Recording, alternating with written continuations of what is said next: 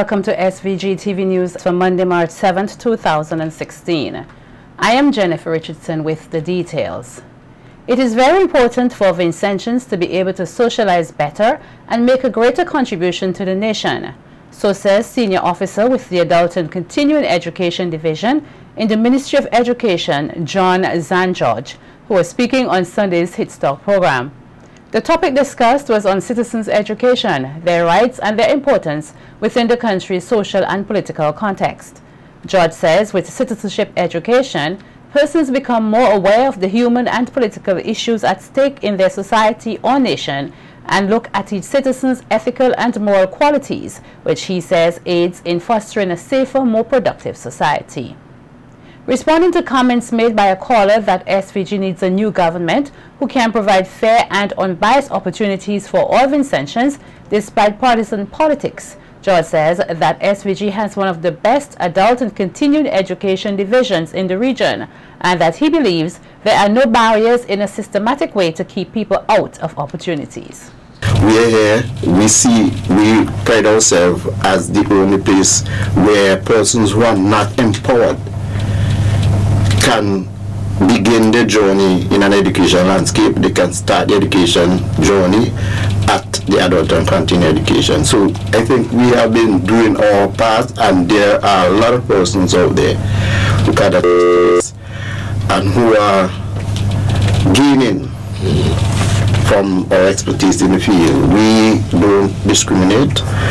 We go out in the field, house to house, town hall meeting, informally look for attachments for persons. Right now, we are going around to the private sector, talking to the private sector, so that their workers, you know, can be in some form of structured education environment. The Adult and Continuing Education Officer says because of the interactive and broad nature of citizen education, Vincentians must be taught how to think critically, how to question and interact on a daily basis for their rights, what is for them in society, and what the laws of SVG are. So it's really trying to, as we were saying adult, is to have the person moving from A to B as an individual. The content is important, but the context is also very important.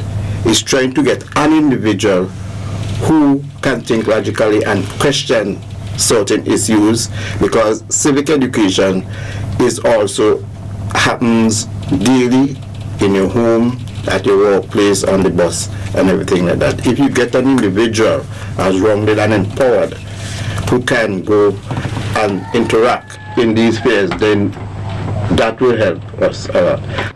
Treasurer of Unity Youths and President of the West St. George Unity Youths, James Gibson, proposes that the Ministry of Education and Social Development and Youth form an interministerial committee to look seriously into citizen education it should not be a relatively difficult task to implement because we already have the support structures in place which is we have the schools we have teachers we already pay teachers we already build schools so these the, the, these structures could support us in implementing the citizenship education. Also, I, I, I look towards um, external funding, mm -hmm. such as we may get some grants or whatever the case may be for a period of time um, those could also go towards the community outreach sensitization parts of the, the citizenship education project. Um, other sources such as, well, well, sometimes you don't even necessarily need financial support. Sometimes all you need is, is, is people support. You, you need, exactly. You need the persons in order to actually volunteer their time in order to get this stuff up and running through delivering it through community. St. Vincent and the Grenadines on Friday, March 4, 2016, received approval to grant Caribbean Vocational Qualification CVQ at a meeting of the Council for Human and Social Development in Guyana. With this approval, St. Vincent and the Grenadines can now award the CVQ to persons who will pursue technical and vocational education and training programs in and out of post-secondary institutions. The Caribbean Vocational Qualification is part of a procedure towards achieving the free movement of certified skilled workers under the Caribbean single market and economy and represents the accomplishment of a set of competencies which define core work practices of an occupational area. In order to earn an award, candidates must demonstrate a certain competence in reaching CARICOM approved occupational standards by industry experts and employers in a range from level 1 to 5. The granting status that SVG has now will also mean that skilled and certified workers will be able to seek job opportunities in any other CARICOM state with less difficulty. It is very important to invest in the training of healthcare professionals to enhance their response to the needs of adolescents. That's according to country specialist for the Pan American Health Organization, PAHO, here Anik Wilson, who says these needs are intertwined into woman and child health, hence the reason why there is a particular focus on the life cycle approaching reproductive health.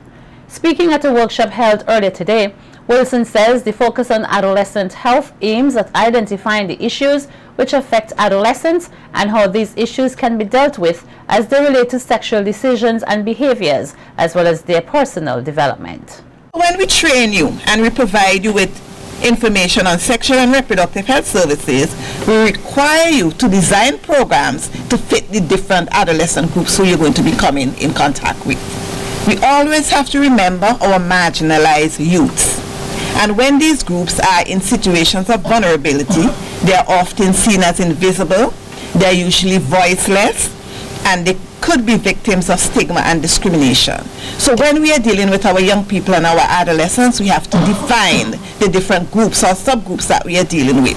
And we need to focus on those that we need to really help along the way, not forgetting those who are stronger and who we can use to build the others.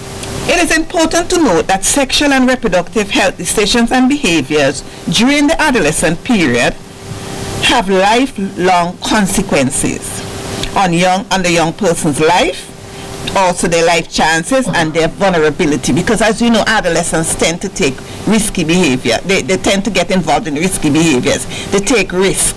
So you're going to get new information. So as you get this new information it's going to equip you to do a better job as you go back out in the community.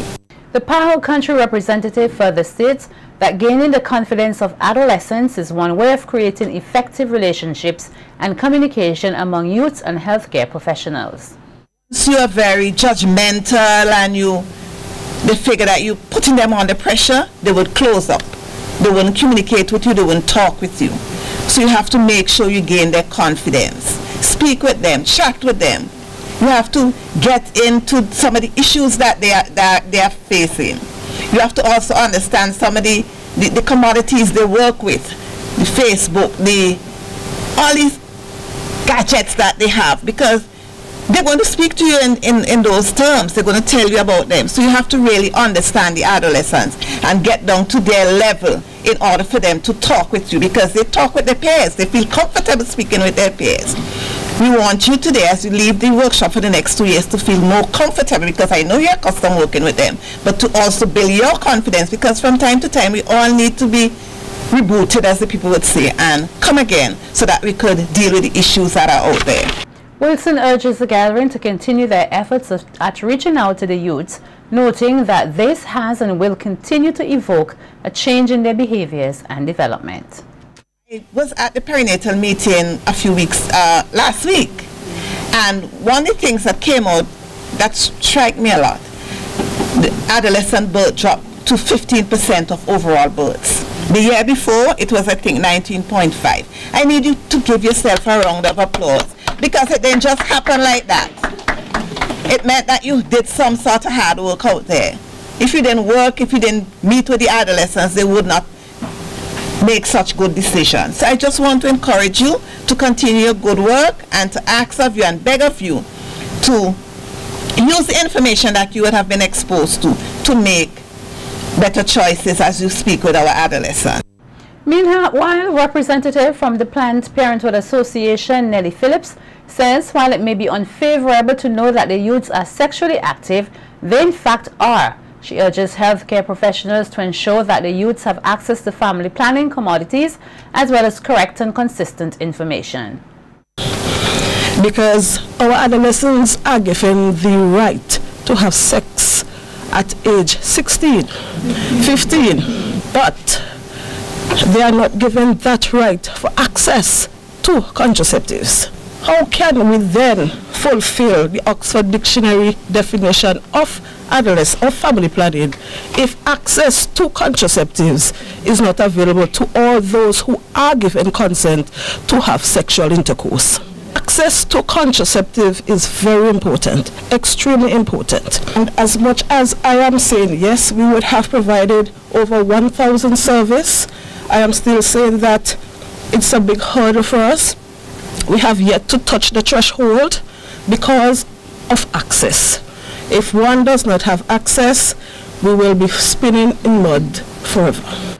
Phillips took the opportunity to outline some of the collaborative work done by the association in an effort to create access to information and family planning methods to marginalized individuals. We also try to ensure that all persons in the vulnerable categories do have access to such by providing free service to all in certain areas alongside the Ministry of Health. And we call these the pop-up clinics, where all services that are offered at the association is delivered in a particular community free of charge alongside nurses who would give up their Saturdays and workers and all other persons within the medical field give up their Saturdays freely to ensure that this service is being delivered. We also work along with the Ministry of Education where we help strengthen the health and family life education program. We choose schools that we know are of course troublesome schools and we say to you that we take a lot of pleasure in doing our work. We do get some assistance, we do get a lot of headaches at times to just the same, but we continue the fight because we know at the end of the day, those same children are the future of tomorrow. Observing the United Nations theme for International Women's Day 2016, Planet 50-50 by 2030, Step It Up for Gender Equality. The National Council of Women, the NCW, is also advocating the need for the rights of women and girls to be respected. In her address to commemorate the day, which is observed around the world on March 8th, President of the local Women's Council, Beverly Richards, called on government and other agencies to be supportive of policies that protect and support females. Step It Up asks governments to make national commitments that will close together the gender equality gap, from laws and policies to national action plans and adequate investment reflect on progress made, to call for change, to celebrate acts of courage and determination by ordinary women who have played an extraordinary role in the history of their countries and communities. International Women's Day is an opportunity for us to recognize achievements of our women who have been through a rough and tough times we, the National Council of Women, congratulates women and their achievements. Women has been brave and strong. Richard says she empathized with those who have been abused and called on persons to be compassionate to their situation while they regain their strength. We do sympathize and empathize with those our women and girls who fell prey to the vicious attacks of senseless and inhumane acts of rape and attempted rape. Physical and psychological abuse. These are violations of their human rights for the favor of jobs and other worthless gifts. Women will always have to do the necessary thing to help protect themselves from predators and perpetrators by being more vigilant. Please be reminded that you may be the next victim of a vicious act or intended inhumane treatment and action. As women and girls, we are also expected to be resilient a charity organization called Simply Help has donated $160,000 worth in items to the government of St. Vincent and the Grenadines. The Simply Help organization was established by Tina Bo, a Taiwanese-born Los Angeles, California resident, who 16 years ago established the foundation, which has assisted over 30,000 persons worldwide. Ambassador of the Republic of China on Taiwan, Bau-Shuan Ger, who presented a container filled with clothing and other items on behalf of Bo and her foundation, says they are mainly intended for the underprivileged women and children. Over the past 16 years, the foundation has made numerous donations in kind and in cash to the underprivileged families and persons in Asia, Africa, and Central America. It also set up 26 schools and other vocational training facilities in Asia and Central America to help people stand on their feet. As I understand, uh, so far there are over 30,000 people uh, that have benefited from uh, those programs run by this organization. The donation made by the Simply Help Foundation this time consists of uh, 422 boxes of clothes, shoes, bags, pillows, soccer balls, ceramic candle holders, and cups at the value of 160,000 EC dollars, roughly. Ambassador Ger thanked this country for its relationship for 35 years and also praised the government for passing the Zero Hunger Act. It's great work.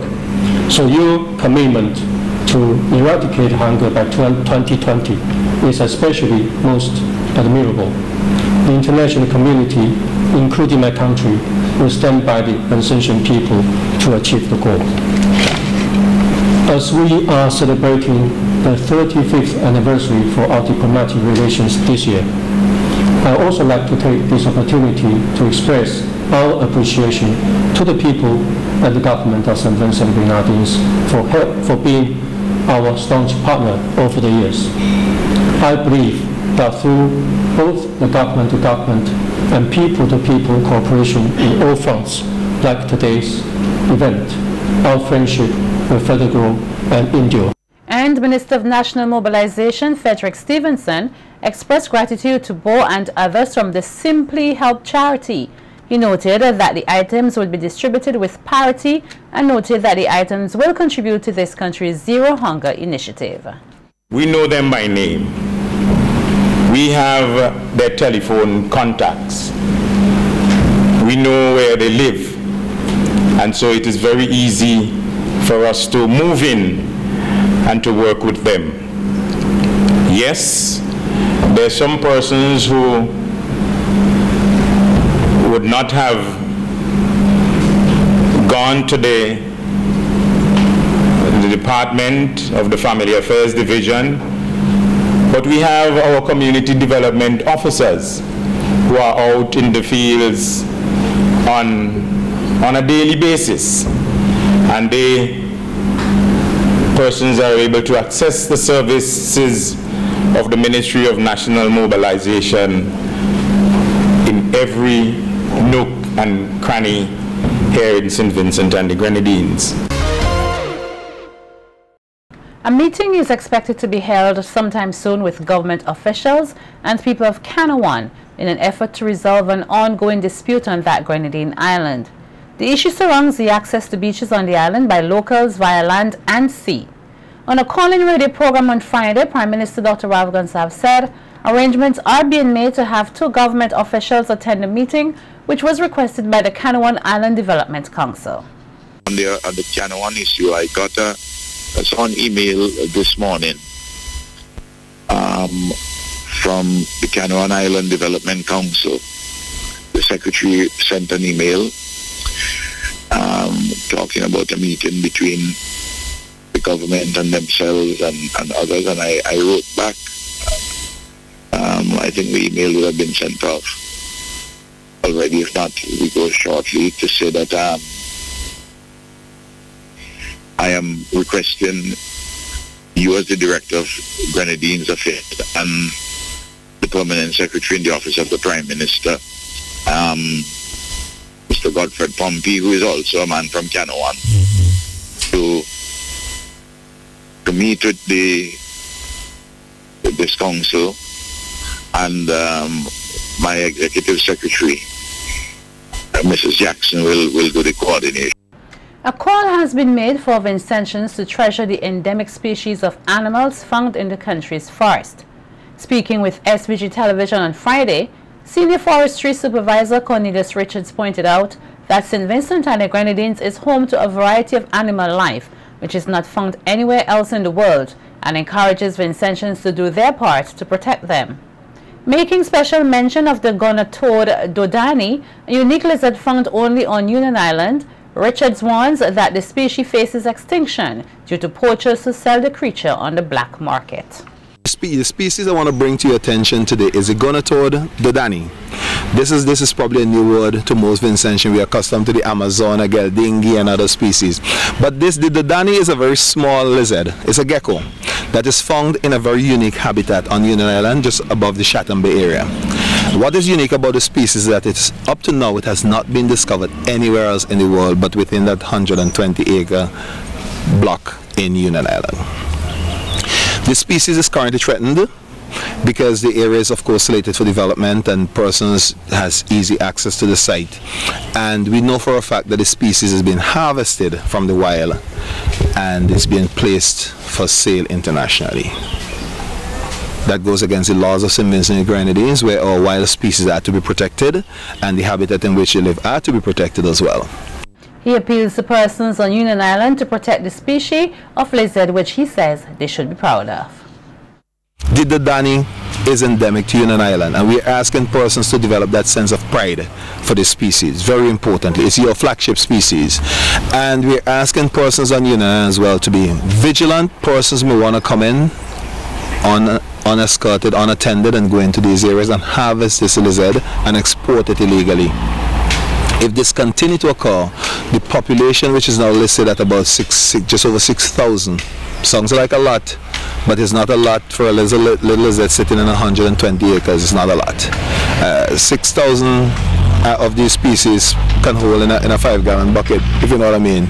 And if persons go in and start harvesting these animals, you may well see a situation where it becomes extinct in its wild, and you would find it in on every in every little terrarium of families and so on in Europe that we do not want.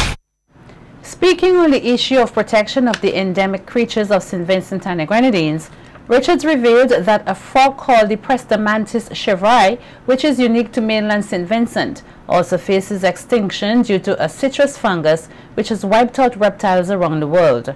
Richards added that the Forestry Department believes the fungus was introduced via an unauthorized person accessing the forest reserves, and his department is contemplating a ticketing system to protect these creatures and prevent what he calls a catastrophic collapse of the ecosystem. Now considering a permit system for persons wishing to enter these areas because we're almost certain that the chytrid fungus went into the frog population as a result of persons going in unsupported or unauthorized into these areas where these species are found. You may say, oh, well, what's the big deal about a frog? But the frog is part of a food chain. And if that frog population falls or it becomes unavailable as part of the food chain, you may well find other species collapsing because it wouldn't be able to, that, that, that frog would not be there to, to predate on, on certain insects and so on. You may see a, a rise in the population of those insects, whether it be mosquitoes or flies or, you know, and we can also see a collapse in the overall system. As small as each entity is within our wildlife chain, they are important. And you can have what is called a catastrophic failure of our food chain if that, you know, when that occurs. In an effort to pay homage to Vincentian heritage, local entrepreneur Hayden Billingy has created a line of t-shirt brands depicting pieces of the Carib and Garifuna heritage. Speaking at the launch of HB Collections last Friday at the Mako Plaza, Billingy noted that he is very proud to be associated with the initiative as there is a need to showcase true Vincentian culture and heritage. I feel that we are a strong people. We are resilient people. We are resistant. And in a time like this, we have to have that kind of character. We cannot forget what our ancestors did by fighting for this nation. And in the month of March, we should be all proud that indeed we can say we are either Carib or we are Garifuna. Because indeed we have a proud ancestry and we should, this should engender national pride among us.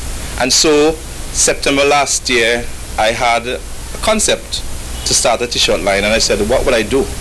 And I said I would pay homage and I would honor my ancestry. Highlighting the various brands of the collection, Billingy outlined that persons should be proud of their national heritage as it is a part of who we are as a people. He described the T-shirts as tangible heritage and urged the Vincentian public to support the collection, which he said showcases national pride throughout Heritage Month. The one I'm wearing, I am Yurumein, which means St. Vincent in our Garifuna language. And my moderator, of course, has I am Garifuna. There's one that is dubbed Carbs. There's one that says St. Vincent land so beautiful, taken from the words of our anthem. There's also one that speaks of the Carib chief, which is Ubutu, paying, of course, honor to our chief, paramount chief Chatoyer, Joseph Chatoyer. And of course, there's the Hayden Billingy collection as well, which really is a HB design. And of course, how can I forget? Um, the exile. You know, the exile has been a very tragic journey for our Carib, Garifuna people. And as much as it is, it is very sad, we must not forget what they would have gone through. Because many civilizations have died because they have not fought. And we have fought, and we should be proud. I hope that as we, as we contemplate on our history, that we would not forget who we are. We must respect who we are, love who we are, and show a sense of na national pride because we have survived and we are here. In news from the courts, Ricardo Samuel, a resident of Chauncey, who was sent by Chief Magistrate Rechanne Brown to the Mental Health Hospital at Orange Hill to undergo a psychiatric evaluation to determine if he was fit to stand trial on an indictable charge, reappeared in court earlier today. It was stated by Magistrate Brown, who had received a report from the medical official at the health institution, that based on the evaluation of Samuel's mental status, among other things, that he has been deemed mentally fit to answer the charge. Samuel is accused of having in his possession a jug containing gasoline and matches, along with other items for the purpose of destroying the ULP constituency office at Chauncey by fire on February 7, 2016. When the charge was put to him, Samuel pleaded not guilty to the charge. As a result, Senior Prosecutor Adolphus Delpesche had no objection to his bail, which was allowed in the sum of $2,000 with one surety. The matter is expected to be heard on April 7, 2016. And members of the Rapid Response Unit have busted Chang Lee Delpesh, a resident of Rose Hall on the leeward side of the island, on two separate charges after he was found with over 5,000 grams and 2,000 grams of marijuana at Rosebank on March 5, 2016. 15. Uh, this should be 2016. Delpesh was escorted to the Serious Offences Court this morning before Chief Magistrate Rechanne Brown and maintained his innocence. The police prosecutor had no objection to his bail, which was allowed in the sum of $9,000 with one surety. The matter was adjourned for trial on March 29, 2016.